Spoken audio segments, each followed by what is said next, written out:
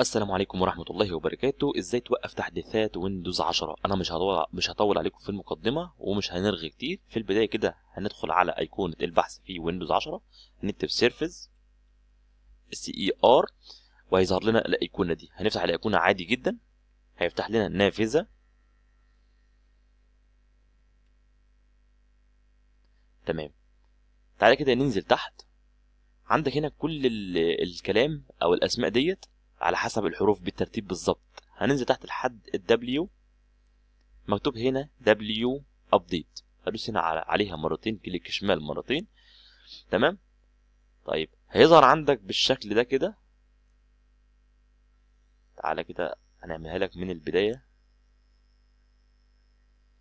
أهي هنفتح Windows Update هيظهر عندك بالشكل ده. هنا اوتوماتيك وهنا start هخلي دي disable وهنا هدوس هنا على start هيستنى لما يعمل كده خلص.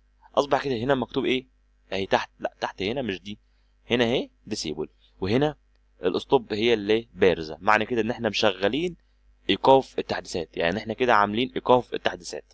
تمام. هدوس هنا على إيه؟ apply كده تمام. OK. كده التحديثات وقفناها هندوس تاني كده disable وهنا stop معمولة هنا إيه؟ وخلاص. بس كده هو ده الشرح البسيط. لو عجبك الفيديو اعمل like للفيديو واشترك في القناة عشان تتابع كل الفيديوهات الجديدة واي استفسار عندك اكتب تعليق وسيتم الرد عليك ان شاء الله في اقرب وقت والسلام عليكم ورحمة الله وبركاته.